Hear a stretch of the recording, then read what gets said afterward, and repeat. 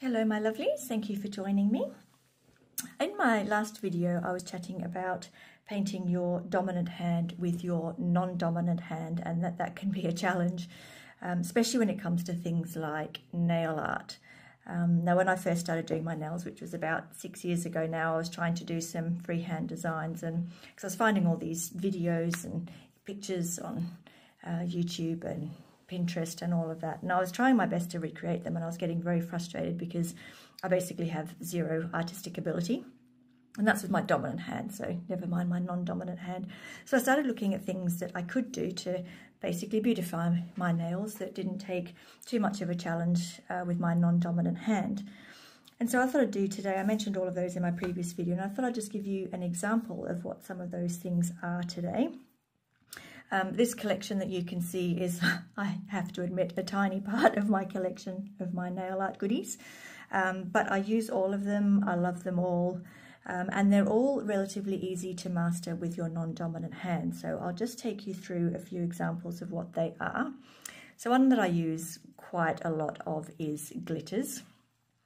Now I've got a few collections here. This one, as you can see, is a relatively chunky glitter um, compared to the ultra fine glitters that you can get that you can burnish in and give you that lovely sort of holographic look. Um, this is a finer glitter in orange. You also get ultra fine glitters.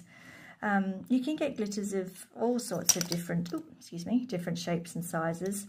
Um, so this one's got little, yeah, little beautiful shapes and I've got some sort of mylar type glitters here as well which are just sort of flecks. Um, and of course you can combine all of these as well, so you can make your own glitter mix. There's nothing stopping you. These two combined, for instance, would be lovely with like, say, a little silver bit of the mylar as well would, would be great. So you can make your own versions of them. You can also get dusts. Now this is a little um, star dust. You can't really see in here, but when you burn this into the nail, it does like a pink purple shift. And it's really quite lovely. Um, you can get all sorts of different colours. I've also got a blue purple one here. I think I've got a, a, green to gold as well. And they're really quite lovely. So they just give your nail like an interesting bit of colour and a lovely shine and shimmer to it. I've also got some stamping plates and polishes. Um, so if you want to do stamping, you will need all of these things. You will need at least a stamping plate. You will need a stamping polish. You will need a scraper um, and you will need an actual stamper itself. Now there's so many of these on the market. You get squishy stampers, you get clear stampers, you get sticky ones, and basically it all just comes down to personal preference. The beauty of this one is that you can actually look down the barrel and see where you're placing your stamp on your nail. Um, so if you're doing something um, that's like layered stamping, for instance, you can see exactly where you're placing it, which is brilliant. And there's literally thousands and thousands of stamping plates available. Same with the polishers. And so that gives you a lot of, of options. You can layer your stamping. Um, and you can also find that some of your existing nail polishes, not necessarily stamping polishes, but they might be good for stamping. So it's always worth trying those out and seeing as well. Now all of these, I've got a variety of powders down the side here, um, and they all give a slightly different look. So um, this one is, I don't know if you can see it on camera, but it's an actually, it's a beautiful holographic powder. It's basically a silver holographic and it's just lovely. And that comes in a powder form, which looks just like this. And you just burnish that into the tacky layer of your polish. So once you've cured your gel polish, you do need one that's got a sticky layer. And you just use, take a brush, um, preferably something like this, which is a bit fluffy on the end. As you can see, I've used this quite a lot. It's got all sorts of different colours, and you can just use that to burnish it um, into your nail. It comes out with that lovely holographic look. I've also got this one, which is like little mylar flakes. And as you can see, they go in different colours. That's on a black background. You can see I've sort of got yellows in there, blues, greens, a whole array of colours. And yet when you look at it in the pot, it just looks like it's quite clear. Um, but again, that's lovely. So it just depends on what kind of look you want to go for with these powders. You get the chrome powders as well, um, which this is a duochrome. It goes sort of like a copper colour to a green. And again, that's quite lovely on the nails as well. Um, I also have some Swarovski crystals. As you can see, I've got some on my nails right now. This is my clear ones. I've also got some um, sort of purpley ones in here, tanzanite ones, and some uh, rose, light rose colour. Along those lines, you can also get rhinestones. These are just clear rhinestones that you can buy, like kind of rhinestone wheel. You get these in all different colours and sizes as well. You can also use um, things like studs. So in here I've got like diamond coloured studs. I've got some circles. I've got some star shapes. Um, I've got some hearts here at the end. This gets a bit tricky to open. So, um, but yes, you can see on the bottom I've got hearts in here. I've got stars, circles. Got some squares. Um, in yeah, varying gold and silver.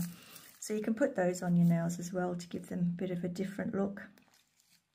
You can also use these, like I just got these from my local Spotlight, which is an arts and crafts store. Um, and these are just, just flat on the back. So you can just put a bit of builder gel or base gel or some sort of thick gel and then cure those like you would a crystal and they look quite effective as well. And again, as you can see, these are in different sizes. Another very useful little tool for nail art is striping tape. Now, again, you can get all sorts of different types of striping tape. So like this one here is purely sort of functional. You would use it to create a border on your nail and or like a divider if you're doing different colours. Whereas ones like these ones are designed to actually stay on the nail. So you would use these um, and then embed them in a gel polish or an acrylic, whatever you're using. And again, there's a massive array of colours. These are metallic. I've got a metallic range. I've got blue, purple, all sorts of different colours. Um, this is like a holographic gold. Um, and this is a glitter red, which you can probably see is quite thick, is quite a bit thicker than the other two as well. So again, there's thousands of um, striping tapes available from different places. So that's another thing that's relatively easy to master with your non-dominant hand. You can also use water decals. Um, so then again, these come in a variety of styles, colours, designs. Um, and these are quite nifty, so you just, you'd remove the tacky layer of your colour polish and soak these in a little dappen dish of water for about 20 to 30 seconds until they come away from the backing paper and then you just place them where you want them on the nail and top coat over them. So if you wanted some more intricate designs like some lovely flowers and things without having to freehand draw them, then these are a really good option. And you can actually make your own decals as well using your stamping plates and polishes. So you can stamp onto your stamper, let it dry, and then colour it in with whatever colours that you like. Put a layer of top coat and then roll it onto your nail and make your own decals. So that's another handy trick that you can do. And then I've also got some nail foils here. Now these come in a variety of formats. So they often come in a roll like this, or you can get them in a sheet like this. Um, and these are quite useful. You will need foil glue for these. I have some people seen some people dab these directly into the tacky layer of gel polish, but to be honest, I've never had that work for me. Um, so you just need a bit of foil glue and then stamp this directly onto the gel polish. And as you can see, this will give you a lovely shimmery metallic look to your nails. And again, these come in a massive range of colours, styles. Um, like this one has got multiple colours. Hopefully the camera's showing that. It's got green, blue, and like a, a midnight blue at the top. So that would give you like a rainbow effect to your nails. These ones are more, um, they've got designs on them. So I've got some floral patterns and different colours. So these give you a nice different look to your nails as well. And last, another fantastic tool um, that you can use is the dotting tool. Um, now I have five here. If you don't have dotting tools in your collection, I strongly recommend that you get some. These are fantastic. Um, they're multi-purpose. They're so handy to have in your collection. Um, this is a set of five, so they all have a different size head on the end of them. So these are the smaller sides. And as you get to the other side, hopefully you can see that they're quite a bit bigger. So that's excellent if you want to do dots, um, you know, varying in size down your nail. For instance, if you want to start with thicker dots and work your way down to thinner dots, they're brilliant. They're also useful um, for if you want to get a bit of a line between your cuticles. So if you've got overflow of your gel polish, they're really useful for that. Um, if you follow Talia on Talia's nail tail, she uses it to get the colour up very close to the cuticle without actually touching it. She uses a very um, small dotting tool for that. Uh, they are they're a fantastic product if you haven't got them. Um, I suggest you get some. Something else that you can use that you may not have thought of is Sharpies. So these are quite useful. I don't know if you've ever seen um, on YouTube videos where people do like a watercolour sort of look or the marble look using Sharpies and a bit of isopropyl alcohol. So, and you might actually have some of these lying around your house. Um, they're very useful for that as well. And last but not least, I have some pigments. I didn't have room to put them in the shot, but they're off here to the side. I have um, neon pigments, but again, these come in thousands of different colours. Um, and these are very useful. You can use these for all sorts of things. You can actually use these to create your own colours. So if you wanted to make a neon gel polish, neon yellow gel polish, for instance, you'd just mix some of this in with top coat and depending on how opaque you wanted your colour would depend on how much or how little pigment you added to it. Equally, if you wanted to do a pastel yellow, you could add some of this pigment to a white gel polish and make your own colours. And so when you have some pigments, it just opens up your world massively. Um, you can also rub these into the tacky layer of polish as well. So if you've got a white nail, you can do, you know, you could do like a rainbow effect using pigments.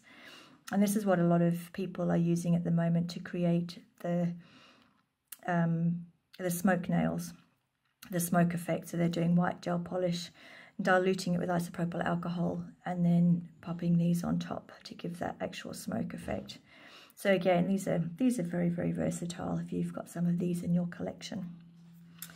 So that's pretty much everything I could think of immediately from my collection. As I said, this is just a small section, but it gives you an idea of what you can do. And all of these are pretty easy to master using your non-dominant hand. So as you can see, you can use the foils, the glitters to give your nails a bit of bling. You can use the gemstones, the crystals, um, the chrome powders. All of these give a lovely look to your nails.